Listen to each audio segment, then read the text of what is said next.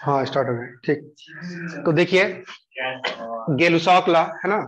हम लोग numerical question approach करेंगे कैसे करते हैं, ठीक है? या यूँ कहें कि स्टेचोमेटिक रिलेशंस को कैसे हम लोग हार्वेस्ट करते हैं या यूज़ करते हैं। तो सबसे पहले लिखेंगे गेलुसॉक ला तो लिखिए। When gases reacts, when gases react when gases react they do so they do so in volumes which bear a simple ratio uh, b e a r which bear a simple ratio to one another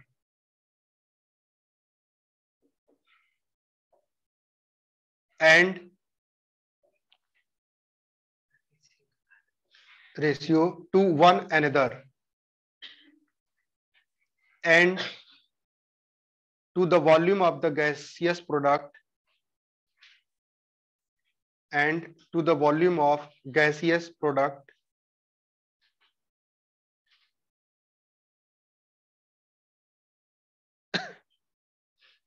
provided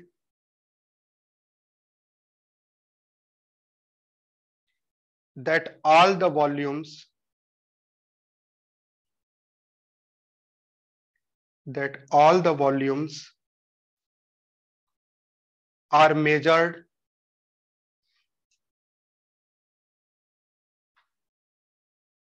are measured at the same temperature and pressure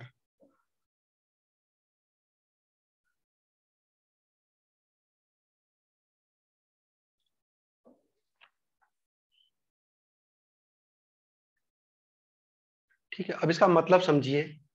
जैसे हम लोग कहते हैं कि किसी container में nitrogen ले लें हम लोग हैबर प्रोसेस अगर अमोनिया बनाए नाइट्रोजन और हाइड्रोजन ले लें तो ये दोनों ही रिएक्ट करके क्या बनाएँगे?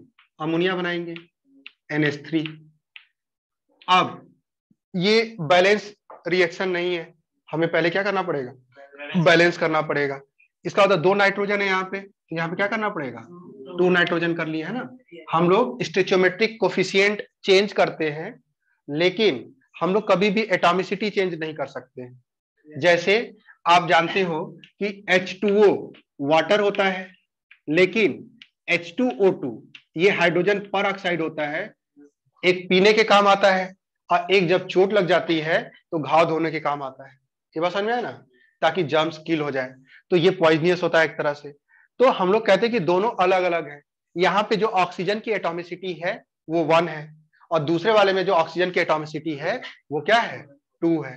तो कभी भी अगर आपको ज़रूरत पड़ जाए कि हमें ऑक्सीजन को बैलेंस करना है तो आप इस तरफ़ उसकी एटोमिसिटी मॉलिक्यूल में एटोमिसिटी आप चेंज नहीं करेंगे। आप सिर्फ़ चेंज करेंगे उनके स्टोचियोमेट्रिक कोफिशियंट्स को। और उसी को हिट एंड ट्रायल से आप बैलेंस करने की कोशिश करेंगे, ठीक? तो हमने कहा कि यहाँ पे हमने नाइट्रोजन को बैलेंस कर दिया और यहाँ थ्री मल्टीप्लाई कर दे तो हाइड्रोजन को बैलेंस कर दिया। अब देखिए, अगर हम लोग बात करें यहाँ पे कि नाइट्रोजन का स्टिचोमेट्रिक कोफिशियंट रेशियो कितना कोफिशियंट कितना है? वन है। यहाँ पे क्या है?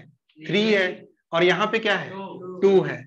इसका मतलब कि अगर ये रिएक्ट करेंगे दोनों तो दोनों के जो वॉल्यूम का रेशियो है, वो वन रेशियो क्या होगा? थ्री होगा। At the same temperature and pressure और अगर वॉल्यूम का रेशियो वन रेशियो थ्री है, क्या इसका मतलब वन वॉल्यूम इसका रिएक्ट करेगा थ्री वॉल्यूम हाइड्रोजन से। ये बात समझ आ गया ना? अगर एक वॉल्यूम कंज्यूम हो रहा है आपका नाइट्रोजन तो तीन वॉल्यूम कंज्यूम होगा हाइड्रोजन क्या हम लोग ये बात कह सकते हैं कि एक मोल नाइट्रोजन कंज्यूम होगा तो तीन मोल हाइड्रोजन कंज्यूम क्या हम ये कह सकते हैं? क्योंकि गेलुसाक ने वॉल्यूम का रेशियो बताया था। लेकिन क्या उसको हम यूज़ करके यहाँ पहुँच सकते हैं? तो देखिए हम लोग जानते हैं कि जितने भी आइडियल गैसेस होते हैं पीवी इक्वल टू क्या होता है? एनआरटी होता है एन आर टी होता है। इसका मतलब कि जो वॉल्यूम हो गया आप क्या लिख सकते हो? एन आर टी अपॉन क्या लिख सकते हो? पी लिख सकते हो। अब इसको ध्यान से देखो कि अगर एन आर और पी की बात करो और गेलुसाक के स्टेटमेंट को पढ़ो। तो उसने क्या कहा है? At the same temperature and pressure same temperature और प्रेशर का मतलब कि ये दोनों कांस्टेंट हो गए। आर वैसे ही गैस कांस्टेंट है। मतलब ये ब्रैकेट कांस्टेंट हो गई। तो जो वॉल्यूम का रेशियो है, वही एन मतलब मोल्स का रेशियो हो जाएगा।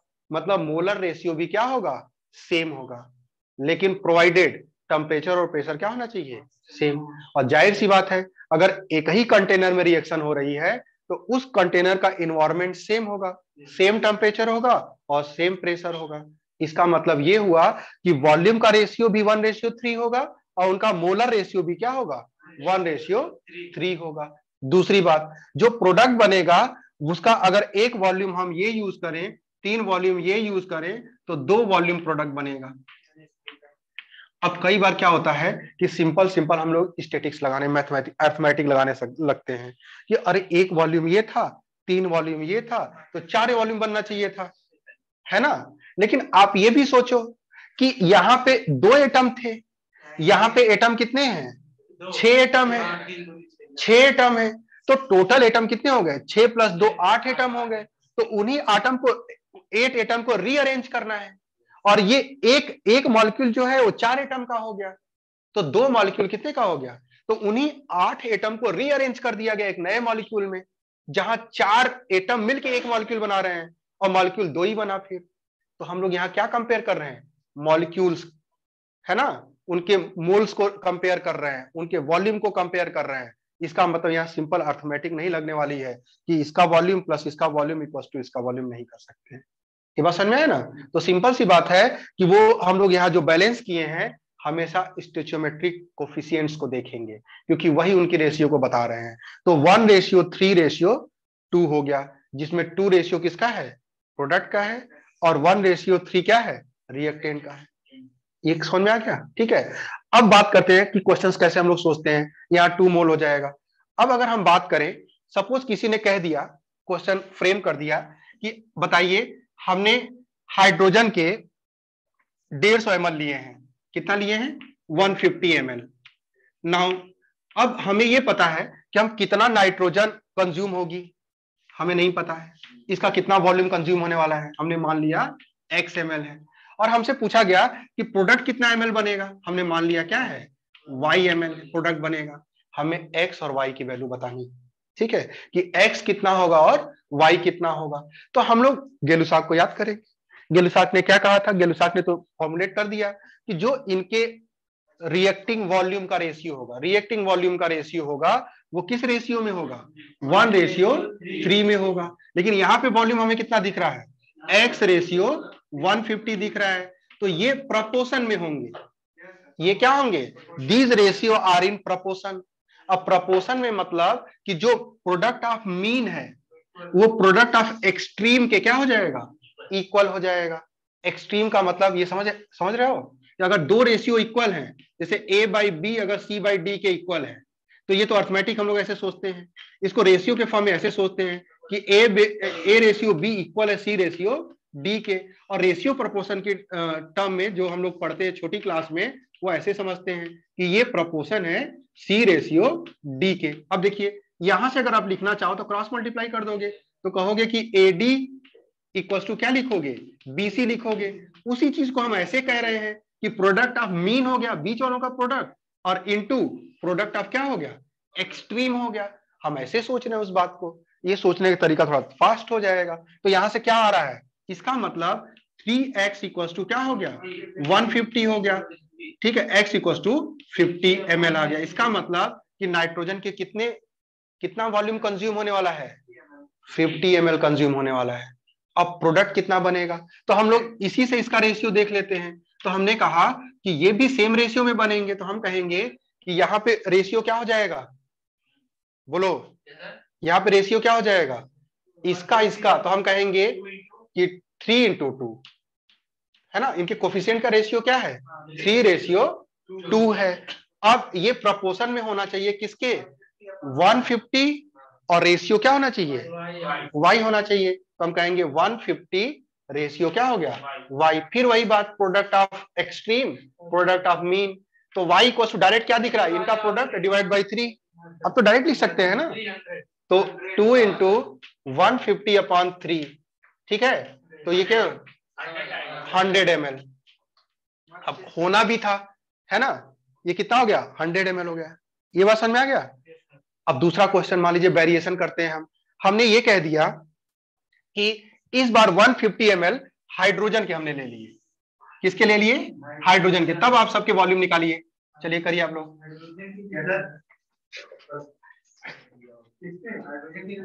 हाइड्रो अरे सॉरी नाइट्रोजन के हमने ले लिए। 150 फिफ्टी पॉज करें। अब देखो, चलो, अब ध्यान से क्वेश्चन समझो। ठीक है, तुम लोग क्वेश्चन नहीं समझ पाए। सबसे पहली बात, जब आपके पास मोर देन वन रिएक्टेंट का इंफॉर्मेशन दिया हो, खतरा बढ़ गया है है ना? ये हमेशा समझना चाहिए। अब ये ज़रूरी नहीं है, क्योंकि ये रिएक्ट करते हैं वन रेशियो थ्री में यहाँ पे। ये अपने स्टेचोमेट्रिक कोफिशियंट के रेशियो में रिएक्ट करते हैं। इसका मतलब सपोज़ हमने ये कह दिया हमने इस वॉल्यूम को इस इंफॉर्मेशन को हाइड किया। और हमने कहा कि चलो ये इंफॉर्मेशन मान लो नहीं होती। तो इसके पद, इसका एक वॉल्यूम कितने वॉल्यूम से रिएक्ट करेगा? थ्री वॉल्यूम से। मतलब कि इसका 50 एम इसके तीन गुने वॉल्यूम से रिएक्ट करेगा। डेढ़ सौ एम चाहिए। क्या अपने पास डेढ़ सौ एम है? है तो। 200 है। इसका मतलब ये हुआ कि रिएक्शन हो जाएगी और साथ में इसका 50 एम बचेगा भी। ये बात समझ? में इसका मतलब ये हुआ कि ये खत्म हो जाएगा पूरी तरह से। ये लिमिटिंग रिएजेंट है। ये क्या हो जाएगा? खत्म हो जाएगा। लेकिन ये डेढ़ सौ रिएक्ट करेगा और पचास एम क्या रहेगा? बचा बचा रहेगा। अब चलिए उल्टा सोचते हैं। हमने मान लिया कि हम मान लो इस इंफॉर्मेशन को हाइड करते हैं। तो अगर हम कहते कि ये पूरा कंज्यूम करवा करवाना चाहते हैं हम 200 सौ तो 200 सौ कंज्यूम करने के लिए ये वन थर्ड चाहिए। तीन गुना कम चाहिए ना यहाँ पे? वन थर्ड चाहिए।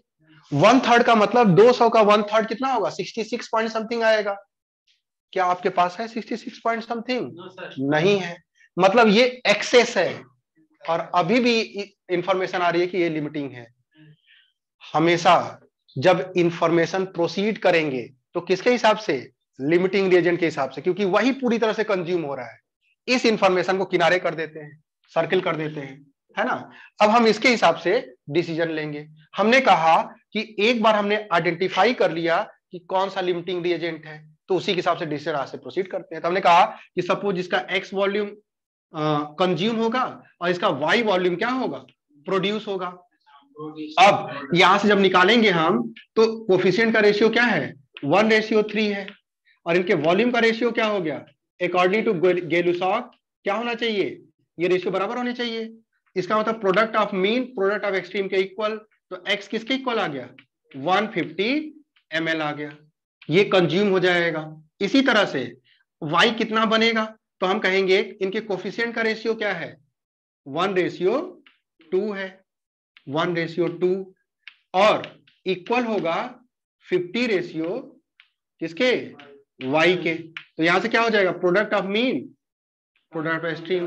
तो वाई इक्वल टू क्या हो गया? सौ एमएल इसका मतलब कि ये पूरा 50 एम कंज्यूम होने वाला है। इसमें से कितना खर्च होने वाला है? डेढ़ सौ एमएल और ये पहले ज़ीरो एमएल था, और कितना बनने वाला है?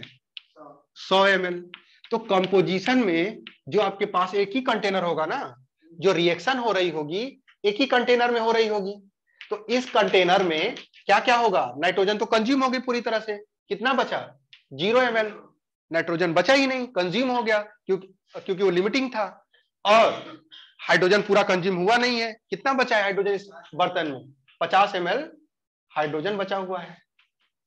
और अमोनिया पहले तो थी नहीं लेकिन अब बन चुकी है। तो कंटेनर में तो होगी क्योंकि क्लोज सिस्टम होगा। इसका मतलब कितना होगा? सौ एमएल क्या हो जाएगा आपका? अमोनिया हो जाएगा। समझ आ गया? ठीक है? तो नोट कर लो।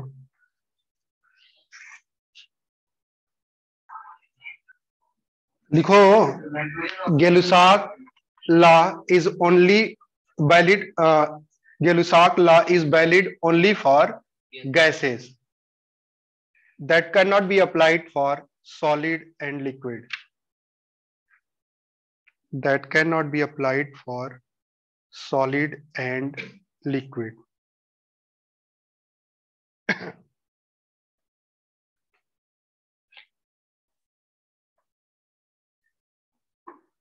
अब एक क्वेश्चन लिखो 200 ml or sorry 200 centimeter cube 200 centimeter cube of ethylene हाँ इथाइलिन ब्रैकेट में C2H4 bracket close is bond bond bond burn किया जाता है बॉन्ड लगता is burnt in just sufficient air in just sufficient air parenthesis bracket open containing 20% oxygen containing 20% oxygen parenthesis close to form carbon dioxide form carbon dioxide gas and steam. Steam. Water vapor. Steam. Full stop. If if all measurements if all measurements are made at constant pressure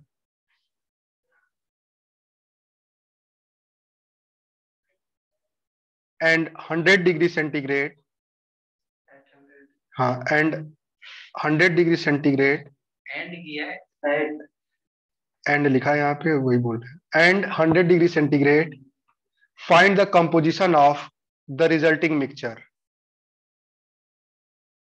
find the composition of the resulting mixture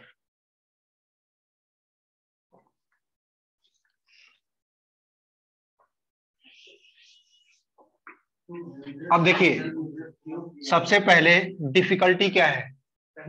देखिए। Okay हाँ। देखिए, सुनिए पहले। सबसे पहले हमें combustion reaction लिखनी है इथाइलिन C2H4 और प्लस क्या होता है? O2 और हम लोग जानते हैं, जब भी हाइड्रोकार्बन को बर्न करेंगे, ठीक है? जब भी आप हाइड्रोकार्बन को बर्न करते हो तो there is only two products क्या क्या होता है? कार्बन डाइऑक्साइड कंप्लीट कंबसन होगा तब, और वाटर वेपर तो दो कंपोजिशन हो गए। क्या क्या कार्बन डाइऑक्साइड और वाटर वेपर और अलोंग विथ सम हीट क्या होगा? हीट ठीक है? तो हीट जनरेट होगी। तो हीट से हमें कोई मतलब है नहीं, है ना? हमें क्या ये रिएक्शन बैलेंस है? नहीं। हमें पहले गेलुसाग लगा ला लगाने से पहले पहले रिएक्शन पता होना चाहिए था पहला चैलेंज था। रिएक्शन आपको लिखने आना चाहिए। उसके बाद उसको बैलेंस करना है है ना? बैलेंस नहीं है तो तो देखिए यहाँ पे सबसे पहले क्या कैसे बैलेंसिंग करते हैं? सबसे पहले other than oxygen and hydrogen जो भी एटम है उसे पहले बैलेंस करते हैं। तो other than hydrogen and oxygen कौन है? कार्बन है। तो पहले कार्बन को बैलेंस करेंगे। यहाँ पे कार्बन दो है और यहाँ पे कार्बन एक है तो क्या हो जाएगा? दो हो जाएगा। अब उसके बाद हम लोग हाइड्रोजन को बैलेंस करते हैं। किसको बैलेंस करते हैं? हाइड्रोजन तो हाइड्रोजन यहाँ चार है और वहाँ पे दो है तो हम बदल दिए फोर अब लास्ट में हम क्या करते हैं? ऑक्सीजन को बैलेंस करते हैं। तो यहाँ पे चार ऑक्सीजन हो गए और यहाँ पे क्या हो गया? दो ऑक्सीजन हो गया। हाँ, दो तो छह हो गए और यहाँ पे कितने से मल्टीप्लाई कर दें? थ्री से मल्टीप्लाई कर दें। तो ये आ गई बैलेंस अब हम लोग इसकी वैलिडिटी चेक करते हैं कि क्या गेलुसाकला हम लोग लगा सकते हैं। तो ये भी ठहरा गैस ऑक्सीजन गैस होता ही है कार्बन डाइऑक्साइड गैस होता ही है, और वाटर वेपर को भी स्टीम मतलब गैस ही मान रहे हैं। मतलब सब गैस है। इसका मतलब यहाँ पे गेलुसाक ला को हम अप्लाई कर सकते हैं। इसका मतलब क्या क्या दे रखा था आपको इंफॉर्मेशन में? 200 centimeter cube. of ethanol. Two hundred centimetre cube ethylene ना सेंटीमीटर क्यूब इथाइलिन है और और सर 20% अब देखो ट्वेंटी परसेंट एयर में ऑक्सीजन है ना? तो यहाँ पे एयर इस्तेमाल करी गई है सफिशियंट एयर इस्तेमाल करी गई है जिसमें ट्वेंटी परसेंट सिर्फ़ ऑक्सीजन है। आपके काम की चीज़ ट्वेंटी परसेंट है। चलिए वो बाद में हम लोग देख लेते हैं। तो हमने कहा कि सफिशियंट हमारे पास एयर है पूरी तरह से बर्न हो जाएगा। मतलब लिमिटिंग कौन है? इथाइलिन आपका खत्म हो जाएगा लेकिन एयर खत्म नहीं होगी। तो लिमिटिंग कौन रहा? इथाइलिन जो आपका फ्यूल है। तो सारे डिसीज़न किसके हिसाब से होंगे? इथाइलिन है ना? तो हमने कह दिया कि ये पूरा कंज्यूम होने वाला है। तो सपोज़ ये एक्स एम चाहिए प्योर ऑक्सीजन चाहिए एक्स एम और वाई एम ये प्रोड्यूस होगा और वाटर वेपर हमने मान लिया जेड एम होगा या जेड सेंटीमीटर क्यूब होगा क्योंकि इसका सेंटीमीटर क्यूब में इंफॉर्मेशन दिया है। ठीक? तो हम क्या कहेंगे कि जो इनके स्टेचोमेट्रिक कोफिशियंट्स हैं वन रेशियो थ्री है। वो किसके इक्वल होना चाहिए? टू हंड्रेड रेशियो किसके होना चाहिए? एक्स के इक्वल होना चाहिए। अब यहाँ से क्या आ जाएगा? Product of mean product of extreme के इक्वल है। तो एक्स किसके इक्वल आ गया?